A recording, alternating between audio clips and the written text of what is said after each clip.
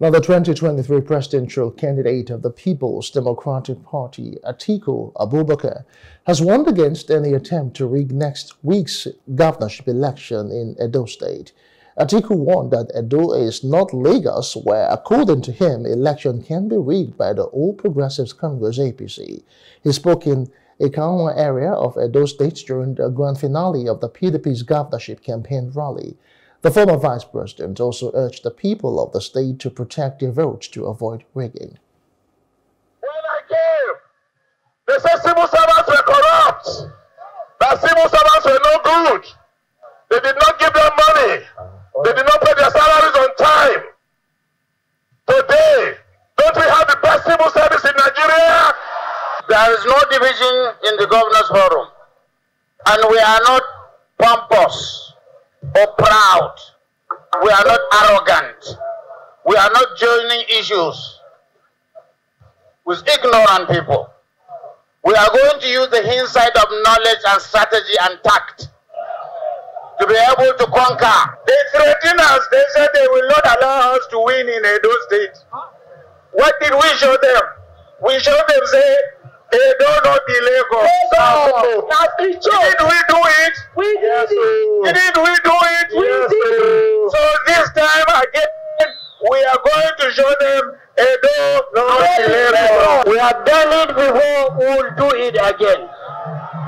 Good luck and all the best. We work out to remove suffering. We work out to remove insecurity. We work out to remove no school. We work out to remove bad health. We work every day for the people of this state, every hour of each day for the people of this state. And we shall make ourselves accessible, transparent, and we shall work and govern with integrity. Next week, Saturday, the people of Edo State will file out to vote for the next governor of the state.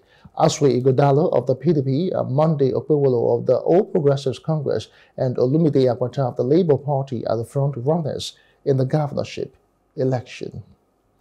Meanwhile, the Vice President Kashim Shettima, Senate President Godswill Akpabio, and nine All Progressives Congress governors, including seven ministers and members of the House of Representatives, have attended the mega rally of the party to wrap up its campaign for the September 21 governorship election. Shettima said that those state needs a strategic thinker, builder, and a man with a compassionate heart that can lead his people right adding that intelligence is not determined by the size of the head, but ability to solve problems that affect the people. Addressing the crowd, former governor of the state, Senator Adams Oshiomhole, said Governor Godwin Obaseki has been insensitive to the plight of the people of the state. Our message is a message of hope. We will not be detained by the very said bad pact. We are inspired by the Once we have a vehicle properly in a position, a driver in the person of Akpako Rescue, rescue our education, rescue our infrastructure. We have heard the news that Edo is taking a different direction. We heard that you have decided that it is time for you to rejoin the center. My presence here as chairman of the National Assembly is to come and let you know that I have implicit confidence in your incoming governor, Monday Okpebholo. We are voting for quality education for our dear children. We are voting for good health care. We are voting for infrastructural development.